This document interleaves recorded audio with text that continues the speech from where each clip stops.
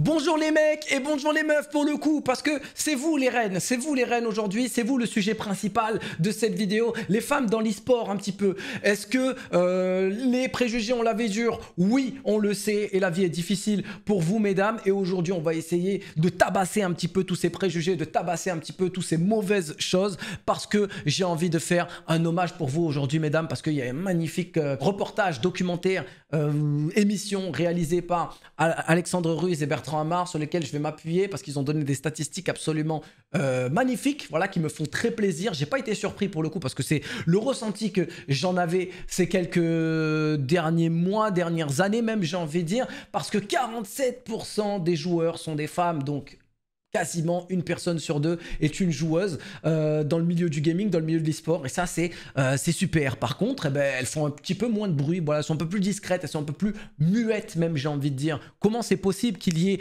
donc euh, un garçon et une fille, hein, en termes de parité, c'est vraiment quasi égal, j'ai envie de dire, et pour le coup, on n'entend que les, que, les garçons. Eh ben, parce que le harcèlement, il est là, parce que le cyberharcèlement est là, et donc forcément les filles vont devoir mettre des PP différentes, vont devoir prendre des pseudonymes non genrés pour essayer de se faire plus discrète, voire peut-être même avoir des modificateurs de voix. Euh, et ça, pour le coup, c'est super dégueulasse, les gars. Il faut essayer de les intégrer un maximum. Deuxième statistique, super intéressante pour le coup, 32% de l'audience qui consomme euh, du Twitch euh, compétitif, de l'e-sport, et également sur YouTube, parce que les tournois sont également donc euh, sur cette plateforme. 32% des personnes qui consomment donc de la compétition bah, sont des filles. Donc une personne sur trois qui consomme du Twitch est une fille. Et ça, bah, je m'en suis moi-même rendu compte sur ma chaîne Twitch, etc. Parce que bah, je vois qu'il y a des filles, mais pour le coup, dans l'espace commentaire, il y en a un peu moins. Même s'il y en a quelques-unes qui parlent de temps en temps. On essaye un maximum de les protéger parce que tout de suite, il va y avoir des gens qui vont leur sauter dessus. Et ça, c'est hyper désagréable. Je pense même que là, dans cette vidéo, je vais vous inviter à parler un maximum, à vous, à vous, à vous libérer. Voilà, donner un petit peu tout ce que vous avez, garçon, fille, euh, sur ces sujets-là. C'est important qu'on puisse crever l'abcès, j'ai envie de dire, et pour euh, qu'on puisse un petit peu repartir sur de bonnes bases. Voilà, j'ai envie que 2022 soit super bienveillant pour nous tous. Et 46 personnes, des personnes qui se sont intéressées à l'e-sport, ne serait-ce que cette année. Donc une personne sur deux quasiment bah, est une fille en fait. Donc c'est en, en plus, c'est une évolution vraiment positive pour le coup. ça a progressé et je pense que ça va aller encore bon train. Euh, maintenant, bah, comme je le disais, elles sont un peu plus discrètes, elles sont un peu plus euh, quasiment même muettes pour le coup pour éviter justement de se faire cibler, de se faire harceler, de se faire charot, de se faire brancher. Je sais pas comment dire ça, mais vous avez compris un petit peu euh, là où je voulais en venir. Au niveau du gaming de manière générale, par contre, je pense que les filles sont très bien représentées. Il y a par exemple Laure Vallée qui présente, qui commente, qui analyse du League of Legends constamment. Et donc, elle fait super bien son travail, compétente. Et c'est exactement la même chose sur CSGO. On a Frankie, on a Freya, on a Potter, on a d'autres filles dont j'ai les visages en tête, mais pas forcément les noms, je m'en excuse. Mais euh, voilà, tous ceux qui consomment un petit peu du Counter-Strike savent qu'il y a des filles ultra compétentes à chaque fois qu'elles font des apparitions, qu'elles interviewent des, euh, des, joueurs, des CEO, des, des, coachs analystes, etc., d'équipe, et même qu'elles-mêmes sont en analyse desk, en fait, elles sont hyper pertinentes, tout ce que, parce qu'elles ont des années d'expérience. Et donc, pour le coup, elles jouent à armes égales avec les garçons. Et je pense même que à, à, haut niveau, les joueurs, les joueuses jouent à armes égales. Aucun attribut physique ne va pouvoir privilégier une personne, contrairement à euh, du sport traditionnel. Et donc, pour le coup, on peut, on peut se battre à armes égales avec les garçons. Mais alors, pourquoi elles sont pas aussi représentées? Bah, au niveau euh, de l'e-sport, de la compétition, j'ai envie de dire Parce que même dans le gaming, de manière générale, des filles, il y en a. En France, on a Magla, on a Jill, on a euh, Little Big Whale, on a, euh, je sais pas, euh, Marie, Marie que j'adore. Donc pour le coup, il y a beaucoup, beaucoup, beaucoup, beaucoup de filles à l'international. Il y a des Pokémon, il y a même d'autres filles dont je, ne consomme pas forcément beaucoup de, Twitch et de YouTube. Donc forcément, il me manque énormément de noms, d'honnêtement, qui sont, qui représentent un petit peu les filles, chez qui elles vont forcément s'identifier, qui font avancer un petit peu cette cause-là, qui vont inspirer des gens à faire, bah, tout simplement la même chose qu'elles et donc vivre de leur passion et tout. Mais euh, je pense que c'est le cas. Maintenant, je pense qu'on joue à armes égales entre garçons et filles parce que les attributs physiques euh, ne sont pas importants dans le milieu de l'e-sport. Euh, mais il y a quand même une différence de niveau qui est indéniable. faut savoir que sur CSGO et Valorant, pour le coup, je ne sais pas, je ne peux pas m'exprimer moi sur la scène Fortnite, sur la scène League of Legends, sur la scène Overwatch, etc. Parce que ce sont des scènes que je ne suis pas. Et donc, je ne sais pas comment les formats se font. Je ne sais pas s'il y a beaucoup de meufs qui jouent à, à haut niveau. Mais pour CSGO et Valorant, c'est le cas et ce sont des circuits open, ce sont des circuits ouverts avec des inscriptions gratuites, avec euh, juste comme condition avoir plus de 16 ans. Et il faut savoir qu'il y a des scènes féminines depuis 1.6, depuis Counter-Strike Source et Counter-Strike Global Offensive. Donc ça va faire 15 ans, 20 ans qu'il y a des filles qui jouent à haut niveau sur CS et qui en vivent, mais elles ne sont euh, jamais allées au rang des garçons, n'ont jamais été des concurrents des garçons, et même euh, leur égal en termes euh, également de, de, mixité, pour faire une équipe mixte.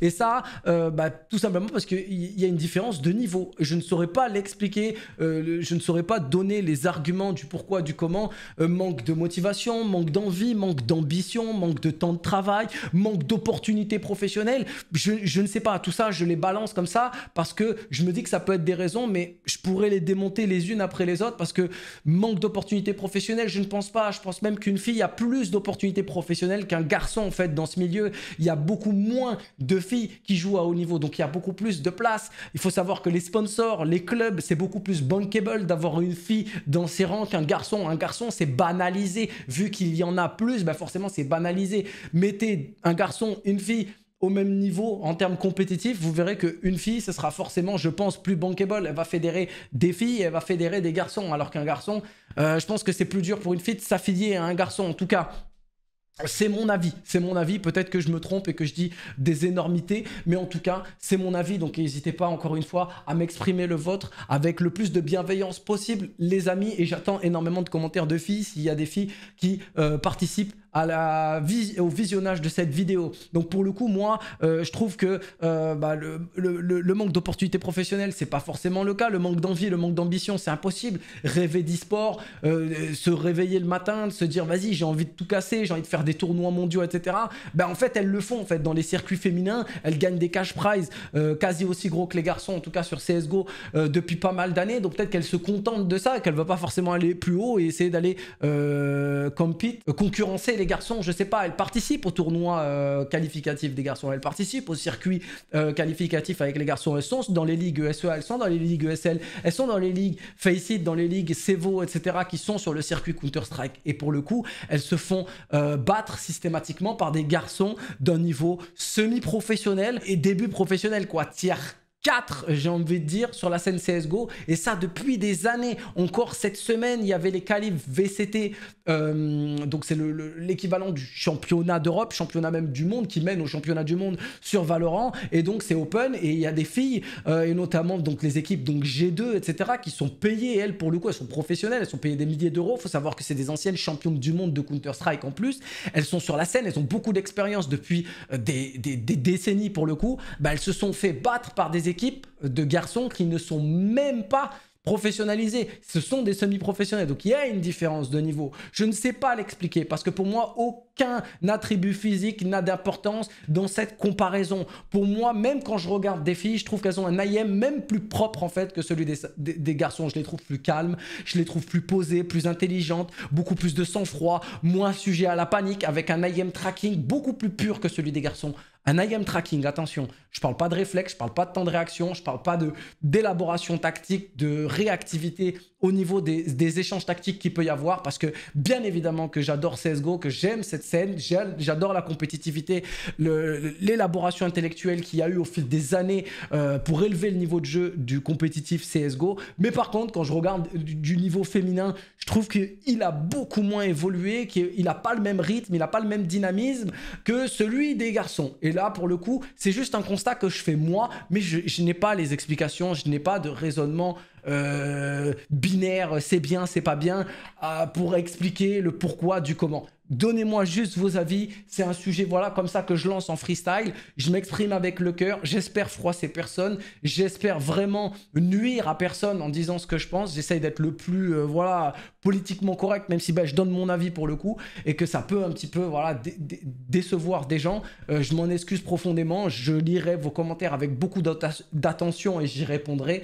avec beaucoup de bien bienveillance et beaucoup de recul si je dis des conneries et que, et que je vous ai blessé. En tout cas, c'est mon avis Merci. Personnel. Maintenant, euh, les filles, euh, je pense que c'est, l'avenir de Counter-Strike, c'est l'avenir de Valorant, c'est l'avenir de l'e-sport. C'est un super étendard. Euh, elle fédère énormément de, de, de, de, gens autour d'elle, des garçons, des filles. C'est beaucoup plus bankable, ça j'en suis persuadé. C'est beaucoup plus bankable d'avoir des filles sous ses rangs que, que des garçons. Les marques, voilà, c'est beaucoup plus facile à vendre, market, marketable, je sais pas comment on peut dire, c'est, ça se vend plus facilement une fille. Alors, c'est pas par rapport au physique, etc. C'est juste que euh, c'est une image différente. Voilà, au niveau des médias, c'est une image différente. Euh, elles ont des personnages beaucoup moins clivants que les garçons, notamment moi, euh, pour le coup. Et donc, forcément, ce serait mieux d'avoir une fille que, que moi. C'est mieux d'avoir Magla que moi. Après, on est des personnes différentes, bien évidemment. Mais vous avez compris où est-ce que je voulais en venir. Voilà, je, je m'arrête ici pour pas dire trop de conneries. c'est un petit talk, voilà, c'est un petit podcast, c'est une petite vidéo comme ça sur un sujet en particulier. En tout cas, moi, ces statistiques m'ont fait énormément plaisir à lire. Euh, j'ai adoré euh, voir euh, le fait que les filles soient représentées à quasi 50-50 et que c'est en, progression en plus. Donc 2022, 2023, 2024, 2025, très certainement que va y avoir une réelle parité. J'espère juste que au niveau compétitif, au niveau de, de l'e-sport et à très haut niveau, j'espère voir beaucoup plus de filles faire leur apparition parce que au niveau du commentateur, au niveau des analyses desk et même dans les coulisses, il faut savoir qu'il y a des admins ESL, il y a des admins Faceit qui sont des filles, euh, dans les administrations des clubs, des graphistes, etc. Dans les clubs et tout, il y a beaucoup de représentants euh, féminins. Donc euh, croyez-moi, les filles sont très bien au niveau de l'e-sport. Je pense qu'elles s'épanouissent fortement.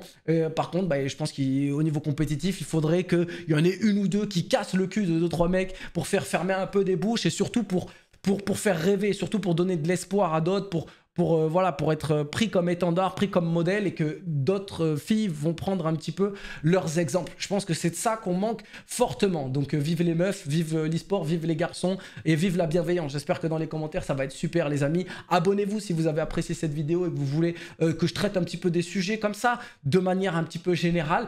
ça me ferait très plaisir. À très bientôt les amis.